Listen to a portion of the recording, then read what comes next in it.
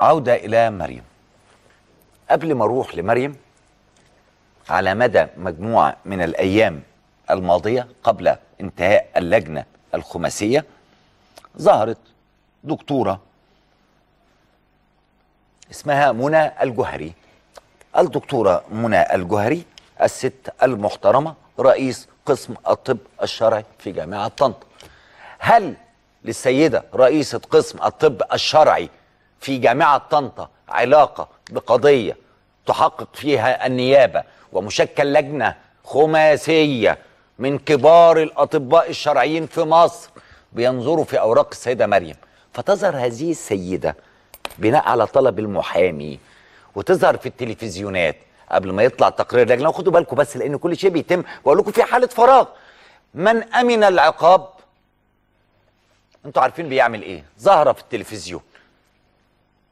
الدكتورة منى ظهرت في التلفزيون عشان تقول حاجة واحدة. إن أوراق الطالبة مريم اللي في اللجنة اللي هي الطالبة أوراق الامتحان مزورة. إيه اللي عرفك يا دكتور؟ اسمعوها. اسمعوها شوفوها ظهرت في كام قناة ورا بعض. ترك ترك ترك إيه التركيز الغريب ده؟ أنت مين؟ نشوف هي مين دخلت إزاي في قضية مريم؟ الدكتور إيهاب رمزي اللي هو المحامي بتاع الطالبة مريم الحقيقة اتصل بيا وقال لي أنا عاوز أعرف الحقيقة. فاطلعت على ال- أوراق الإجابة صور ضوئية لأوراق الإجابة بتاعتها في الإنجليزي وفي العربي.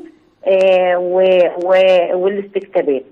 طبعا هو من حق الوزارة إن هي تعتد أو لا تعتد بالتقرير الاستشاري المقدم لكن الحقيقة آه، أنا قدمت تقريري بفحص فني آه، يعني عايزة عين خبيرة علشان تؤكد إن الخط ده مش خط مريم بالفعل.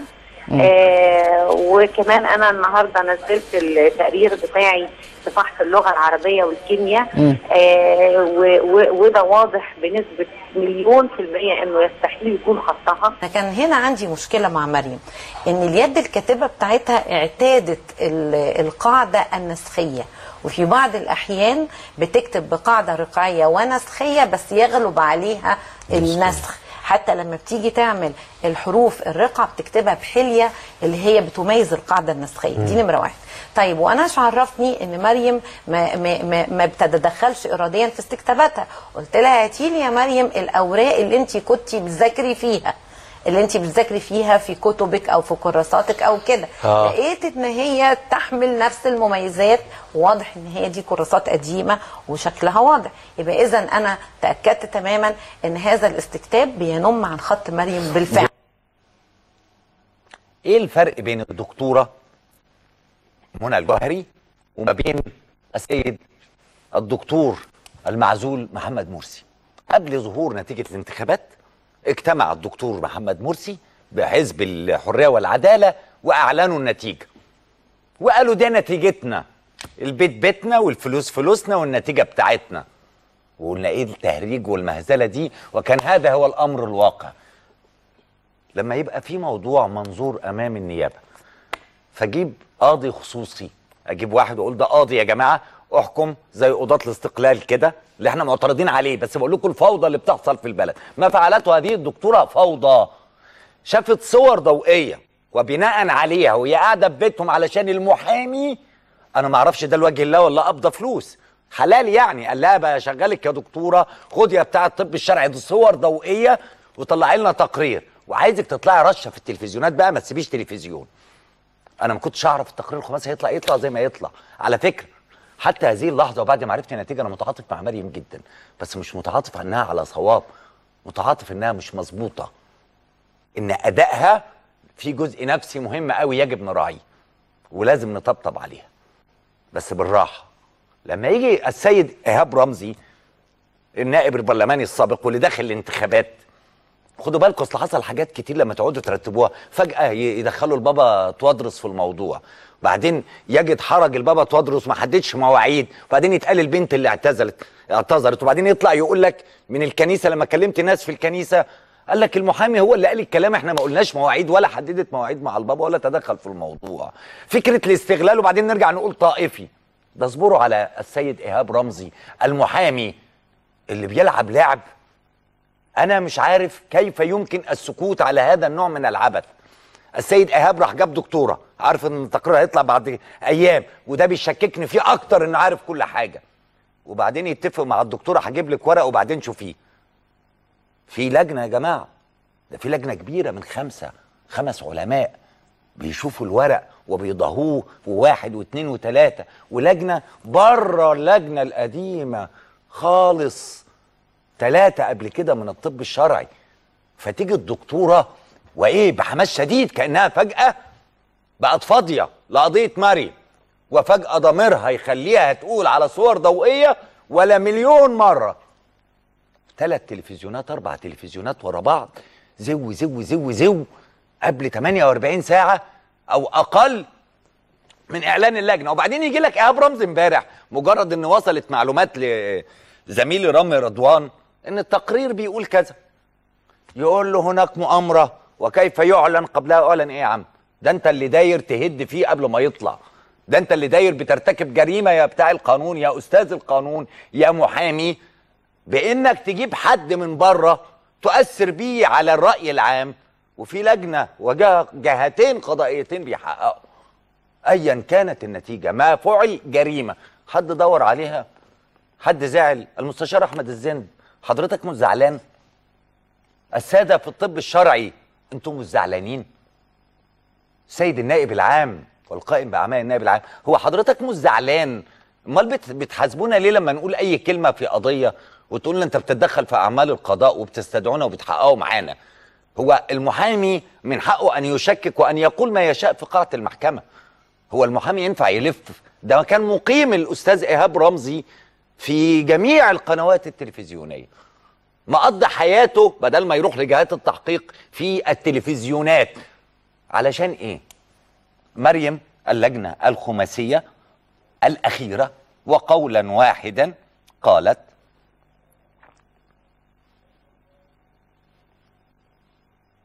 استعرض القائم بأعمال النائب العام المستشار علي عمران مع المحامي العام لنيابة استئناف أسيوط شايفين الشخصيات ورا بعض قد إيه؟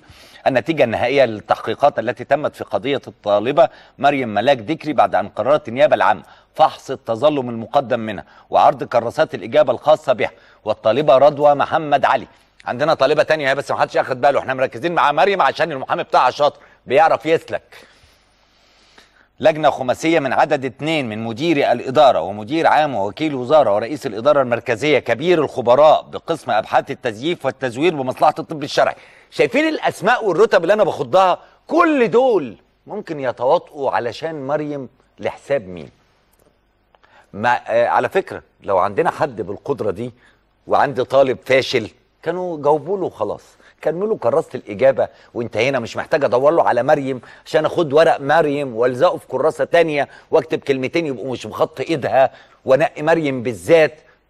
إحنا عندنا طلبة عباقرة على فكرة جايبين 97 و98 و99 و100% عبر سنوات طويلة جدا يعني. للدرجة دي ابن المسؤول الكبير الضخم ده اللي قادر يوقف مصر على رجل ويخلي كل الناس تغير ضمايرها. ما كانش قادر يحط كراسة مخصوص لابنه؟ إذا كان عنده ابن أساسا نفسي أشوفه ده. طيب انتهت اللجنة الخماسية في تقريرها أمام النيابة العامة أن الطالبتين مريم ورضوى هما الكاتبتين للعبارات الواردة بكراسات الإجابة الخاصة بهما بذات المداد اللي هو الحبر المحرر به بياناتهما على الغلاف وأن جميع الشواهد الفنية تقطع باليقين أن كراسات الإجابة الخاصة بالطالبتين لم تتعرض لأي عملية من عمليات التزوير الجزئي من استبدال أو نزع أو إضافة لأي من الأوراق الثابتة. طيب أنا طالب وشكيت رحت اللجنة جابوا لي مدرسين صححوا قالوا تستاهل الصفر. طلعت على التلفزيون في مادة قالوا لا ده متفوق أول مادة تانية جابت الصفر يعني الصفر وارد. طب اللجنة إحنا شاكين فيها فيجي بتوع الخبراء التزييف والتزوير في أسيوط فيقولوا لا الورق والخط هو اهو فالدنيا تتقلب إزاي؟ ده مري. وبنضرة ورئيس الوزراء بيقابلها وبنضرة فتنة طائفية مش فاهم إيه الفتنة الطائفية فعيله معاها 70 واحد أوراقهم. بيتشكك فيه. فتتشكل لجنه خماسية تروح النيابة الإدارية والنيابة العامة ويطلع نفس الكلام. فيطلع السيد إيهاب يشكك في الكل امبارح ويقول لك إيه؟ خسارة. واضح إن الواحد في البلد دي مش هيعرف ياخد حقه. حقك مين يا أبو حق؟ حقك مين؟ ده أنت ترتكب جريمة بما تفعل. حق إيه؟ أنت راجل قانون. عليك أن تحترم القانون. تقول ع... بعد اللي اتعمل لك ده كله بتقول لي حق. يا أخي ما فعله إيهاب رمزي مهين لكل الجهات القضائية في مصر. واستخدام الإعلام بهذه الطريقة استخدام يسيء لنا جميعا. ولكل زملائي الأعزاء. ولعزيزي الذي يقبل النقد كما كان ينتقد الآخرين برحابه صدر وصديقي العزيز يوسف الحسيني هو يعني إيه تستكتبها على الهواء يعني إيه أنا أجيب مريم واستكتبها على الهواء في موضوع يتم التحقيق فيه في النيابة؟ حضرتك أو أنا أو أنت نقدر نعمل إيه؟ وأنا بتكلم على السيد إيهاب رمزي بتكلم عننا إحنا كمان. الإعلام صنع من هذه القصة وهما سرقنا في حاجات كتير قوي ولكن شكك في كل مؤسسات الدولة. وهنا عايز أقف قدام نقطة. هي ليه ناس كتير صدقوا مريم؟ لأن هناك فقدان ثقة في مؤسسات الدولة بالفعل. اللي يجب إن إحنا نقف قدامه وهذه الجملة سمعتها من الكاتب الشاب الجميل أحمد درين النهاردة اللي هو المؤسسات بقت موطن شك. فبقى حتى لو بتعمل الصح الناس بتشك. والذي يجب أن يتم إن إحنا نبتدي ندور. هي الناس ليه ما عادتش بتصدق مؤسسات الدولة أو الحكومة؟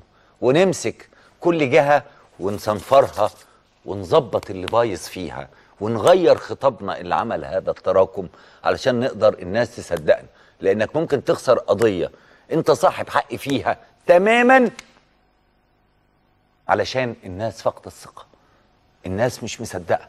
لو جبت لهم مين من السماء عن مؤسسة في الدولة لو جبت لهم حكم أجنبي ما حكمش غير ماتشين. وأنت عندك حكام بقالهم 100 سنة هيصدقوا الحكم الأجنبي ومش هيصدقونا. وده اللي لعب عليه المحامي. فكرة التشكيك التشكيك التشكيك. وكل ما تقرب ويقول لك أيوه نروح. ساعة ما يستلمها يروح داخل على مرحلة تشكيك أعلى. لا أنا ما شفتش كده في حياتي. ما شفتش ده لأن السبب. اللعب على حساب الوطن عشان فلوس أو طائفية أو انتخابات أو إصلاح صورة قديمة اتهزت. دي جريمة. أستاذ إيهاب أرجوك راجع نفسك. أنت من عيلة محترمة. والدك كان محامي محترم. وأخوك مستشار كبير. وأخوك فنان محترم. بلاش اللعب بالنار. أنت تعبد بالنار. أما مريم فأنا من البداية. وبقول لو لها حق تاخده. ولو لها حق يقال فيها وزراء وهم أقيلوا بدون مريم ويقال فيها مسؤولين ويشكك فيها في العدل في مصر. وتبقى كارثة بجد بجد. أما إذ لم تكن صاحبة حق وهذا ما قاله القانون الآن وبثقة شديدة يجب احتواء مريم. مريم آه قد لا تريد الاعتراف بالفشل وجايز يكون غصب عنها وجايز هي مش واعية لهذا الإحساس لأنها متفوقة فإزاي تفشل؟ ولأنها مرت بظروف صعبة بوفاة والدها ربما هذا ضغط على أعصابها. وربما كان في قدر من الدهاء والتحايل لما اعتذرت عن الثلاث مواد وعرفت إنها لا تستطيع أن تعوض وتأتي بالمجموع الكبير. وربما حد من المغرضين لعب في ودانها وقال لها هجيبها لك مالكيش دعوة انت ربما كل شيء في كل الأحوال. مريم الطفلة الص- الصبية الصغيرة يجب أن تحتوى. ويطبطب عليها ولا نقص عليها هي ما تستحملش. يجب نقول لها شد حيلك عندك فرصة تانية هتدخلي امتحان تاني وتفوقي وإنك تتعثري في مرحلة من المراحل ده مش معناه إنك فشلتي. معناه إن الظروف لم تكن مواتية. مش هنتكلم كتير في أنت عملت ده إزاي وليه. لأنه لن يجدي. أنا كنت بتكلم على لعب الكبار. لعب الكبار اللي دوروا هم لعبوا ليه؟ اللي تدخل دكتورة في الجامعة ملهاش علاقة بالموضوع من طنطا فتدخل في قضية في المنيا وتبقى في التلفزيونات بتتنقل كعب داير. حاجة تتعب ما تفهمكش. طب المحامي من حقه يستغل كل أدواته. الدكتورة ضميرها وجعها بدون ما تمسك الورق الأصلي ولا شاكه في زمايلها. تطلع تقول لك لا أحد يتدخل في الأعمال. أمال أنت بتعملي إيه؟ ده أنت العمل نفسه. تصرف غريب مش قادر أفهمه. ما علينا. ما لدي قلت في هذه القضية والله الموفق.